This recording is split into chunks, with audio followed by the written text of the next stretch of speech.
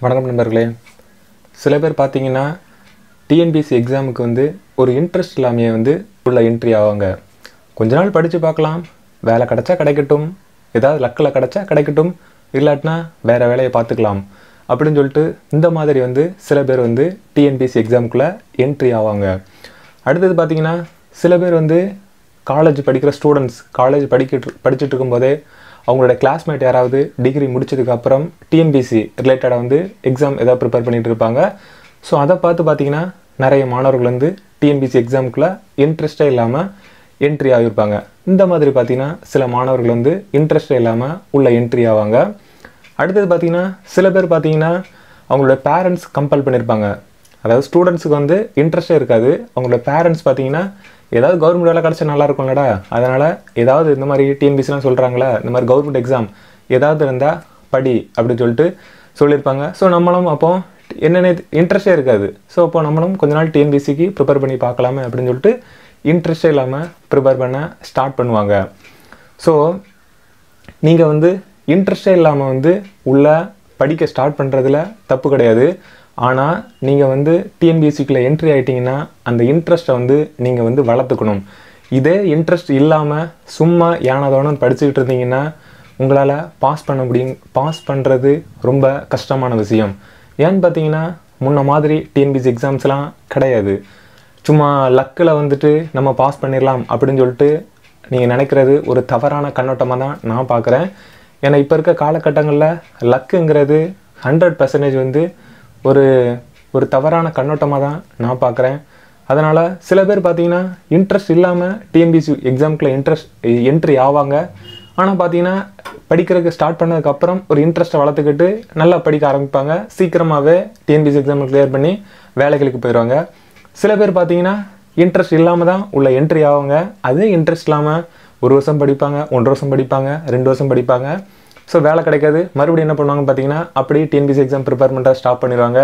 Stop பண்ணிட்டு வேறு வேலைகளுக்கு ஏதாவது ப்ரைவேட் ஜாப்புகளுக்கு ஏதாவது கடைகளுக்கு வேலைக்கு போவாங்க. அந்த மாதிரி ஏதாவது ப்ரைவேட் ஜாப்புகளுக்கு போவாங்க. ஸோ அங்கே போனதுக்கப்புறம் பார்த்தீங்கன்னா அங்கே வந்து பயங்கர ப்ரெஷராக இருக்கும். ஸோ உடனே யோசிப்பாங்க ஐயோ நம்ம மறுபடியும் டிஎன்பி இது இங்கே கஷ்டப்படுறதுக்கு மறுபடியும் டிஎன்பிசி எக்ஸாமுக்கே படிக்கலாம் அப்படின்னு சொல்லிட்டு ஒரு ரெண்டு வருஷம் கழித்து மறுபடியும் டிஎன்பிசி எக்ஸாம் வந்து ப்ரிப்பேர் பண்ணுவாங்க. அதுக்கப்புறம் பார்த்தீங்கன்னா நல்ல ஃபுல் எஃபோர்ட் போட்டு படித்து அதுக்கப்புறம் ஈஸியாக பாஸ் பண்ணி வேலைகளுக்கு போயிடுவாங்க ஸோ அதனால் ரெண்டு வருஷம் கழித்து நீங்கள் வந்து சின்சியராக படித்து பாஸ் பண்ணுறதோட இப்போ தான் நீங்கள் வந்து புதுசாக என்ட்ரி ஆறீங்கன்னா இப்போவே அந்த இன்ட்ரெஸ்ட்டை வளர்த்துக்கிட்டிங்கன்னா உங்களுக்கு வந்து ரெண்டு வருஷம் மூணு வருஷம் வந்து உங்களுக்கு வந்து மிச்சமாகும். ஸோ அதான் நான் சொல்ல வரேன். அதனால் நீங்கள் வந்து இப்போ தான் என்ட்ரி ஆகுறீங்கன்னா இன்ட்ரெஸ்டே இல்லாமல் என்ட்ரி ஆகுறீங்கன்னா தப்பு கிடையாது. இன்ட்ரெஸ்ட்டை வளர்த்துக்கோங்க. நல்ல இன்ட்ரெஸ்ட் எடுத்து படிங்க. கண்டிப்பாக உங்களால் பாஸ் பண்ண முடியும். டிஎன்பிசி எக்ஸாமுக்குள்ள இப்போ தான் என்ட்ரி ஆகுறீங்கன்னா உங்கள் மைண்டில் வந்து நீங்கள் வந்து ஃபிக்ஸ் பண்ணிக்கோங்க. ஒரு வருஷம் வந்து நான் எந்த விதமான என்னுடைய சிந்தனை சொல் செயல் கற்பனை எல்லாம் வந்து டிஎன்பிசி எக்ஸாமை பற்றியே நினச்சிட்டு இருங்க கண்டிப்பாக ஒரு வருஷம் கழித்து உங்களால் நல்ல வேலைகளுக்கு போக முடியும். அதுக்கப்புறம் பார்த்தீங்கன்னா வேலைகளுக்கு போனதுக்கப்புறம் இந்த ஒரு வருஷத்தில் நீங்கள் என்னென்னலாம் இழந்தீங்களோ அதை வந்து பல மடங்காக நீங்கள் வந்து அதுக்கு அடுத்த வருஷத்துலேருந்து என்ஜாய் பண்ணுவீங்க. ஸோ அதனால் இந்த ஒரு வருஷத்தில் நிறைய உங்களுடைய தியாகத்தை பண்ணால் தான் டிஎன்பிசி எக்ஸாமில் பாஸ் பண்ண முடியும். அதுலேயும் இப்போ இருக்க காலகட்டங்கள் பார்த்தீங்கன்னா ரொம்ப ஒரு கோல்டன் பீரியட் அப்படின்னு சொல்லிட்டு நான் சொல்லுவேன். ஏன்னு பார்த்தீங்கன்னா கொரோனா டைமாக இருக்குது.